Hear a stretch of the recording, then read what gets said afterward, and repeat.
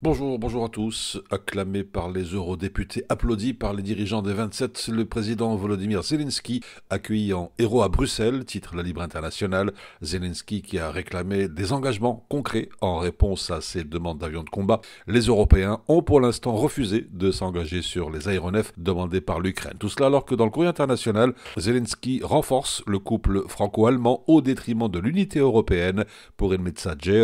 La venue de Zelensky à Paris avant son arrivée à Bruxelles, accompagnée du président français, n'a rien d'anecdotique.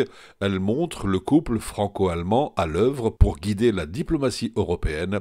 Pour la presse d'ailleurs, ce passage par Paris ponctue un changement de ton de l'Élysée qui plaidait l'an dernier pour maintenir les canaux de communication ouverts avec la Russie de Poutine. Un changement dont Volodymyr Zelensky prend acte dans ce commentaire dans les colonnes notamment du Figaro et der Spiegel. Je crois qu'Emmanuel Macron a changé et qu'il a changé pour de vrai cette fois.